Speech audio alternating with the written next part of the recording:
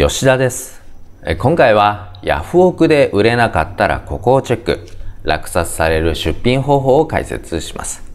需要のある商品なのにヤフオクで売れなかった経験はありませんか？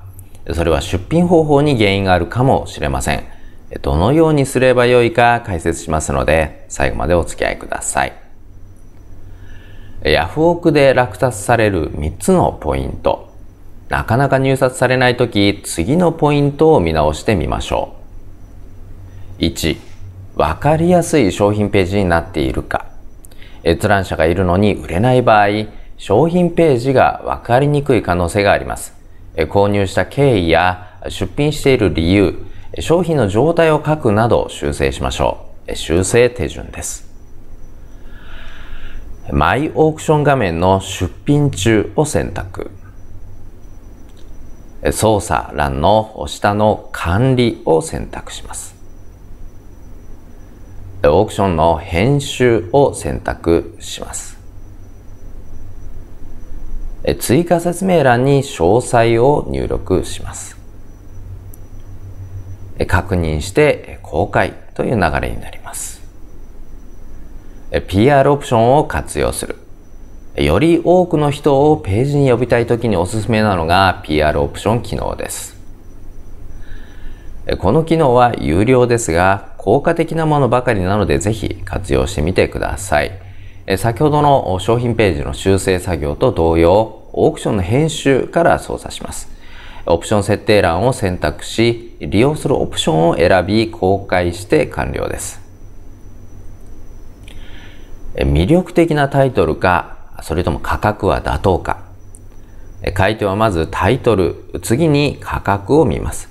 タイトルは冒頭に備品、限定品、訳ありなど、興味を引くようなキーワードを入れましょう。価格は競合商品もチェックして自分の設定価格のバランスを見直しましょう。また、同じ商品でも商品の状態や付属品の有無によって価値が変わります。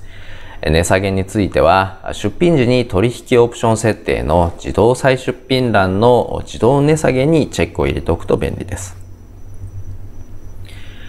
値下げ率を設定して自動的に値下げと再出品をしてくれるので、手間が省けます。ヤフオクで商品が売れない4つの理由。まず、商品が見られていない。どんなに商品が魅力的でも見られていないと意味がありません。閲覧者が少ない理由は後ほど説明します。選ばれる決め手にかける。他の出品者と同じ商品、条件にしていてはなかなか選ばれません。アピールポイントを加えるか、それができなくても出品ページを充実させるなど工夫しましょう。価格が高い。ヤフオク利用者は当然1円でも安く商品を買いたいものです。過去の取引を調べて相場をチェックしてみましょう。出品者に不信感がある。知らない人同士のやりとりなので、信頼できる印象を与えることが大事です。普段から誠実な対応を心がけましょう。入札されずに期限切れになった時にやるべき。ヤフオクに出品しても入札が入らず期限が来てしまうこともあります。その時にどうなるのか、またその時にするべきことを説明します。出品期限が過ぎた時手数料はかかるか落札されなかった場合手数料は発生しません。落札システムレディ、失礼しました。落札システム利用料はその名前の通り落札された時にかかる手数料なので安心して出品しましょう。これは Yahoo プレミアム会員で落札額の8.64%、非会員で10%です。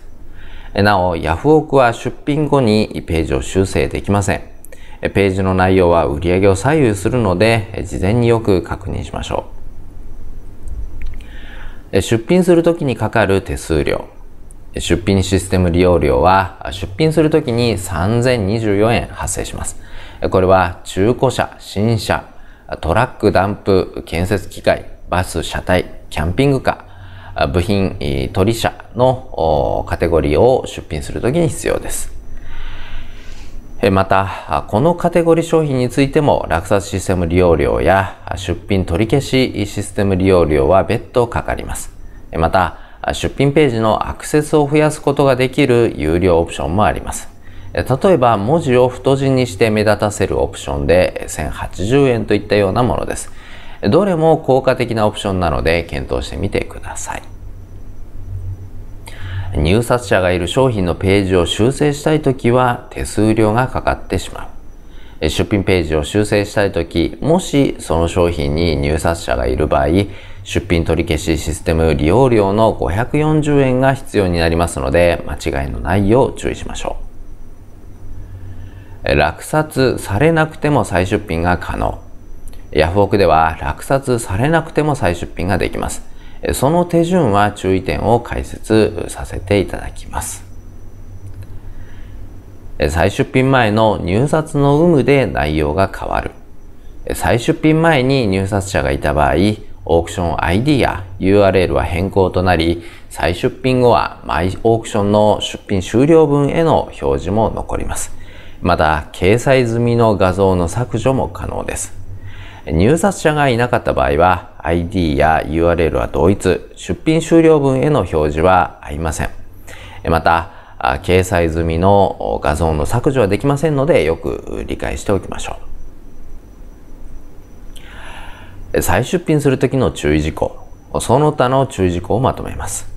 有料オプション利用料が発生。カテゴリーの変更は不可。出品方法の変更は不可。再出品前の質問や回答は削除される。価格交渉など未回答のままの再出品は不可。プレミアム会員時に出品した商品の大会後の出品は不可。再出品の流れ、再出品の手順です。マイオークションの出品終了分タブをクリックします。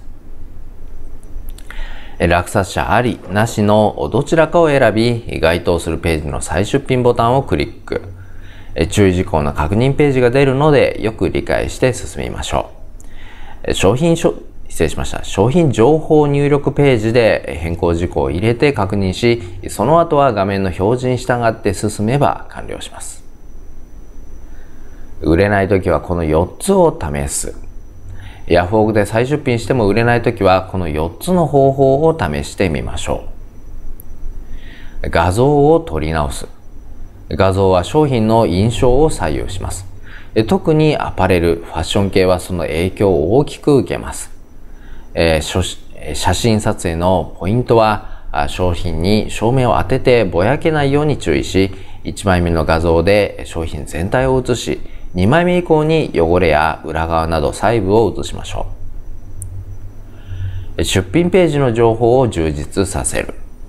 商品説明欄にはサイズや色味など基本的な情報以外にも購入時期や使用頻度、元値、手放す理由など質問されそうなことを細かに記載しましょう。またブランド名はアルファベット表記以外に日本語表記も記載するとヒットしやすいです。送料や配送方法を変える。買い手の多くは送料込みでできるだけ安い商品を探しています。ですので、多少商品価格を高くしても送料無料にした方が売れる価格可能性が上がるでしょう。また、早く商品を手に入れたい人も多いので、配送日数は1日から2日にしましょう。落札されやすい時間に出品する。ヤフオクには売れやすい時間があります。主婦は20時から22時、専業主婦なら9時から14時、社会人なら18時から23時、学生は16時から23時に売れる傾向があります。また、土日に閲覧者が増えますので、金曜日の夕方以降に出品するのがおすすめです。まとめです。ヤフオクで商品が売れないとき、少し工夫するだけで落札されやすくなります。お互いにとって良い取引になるよう意識して諦めずにチャレンジしましょう。ということで、チャンネル登録お願いします。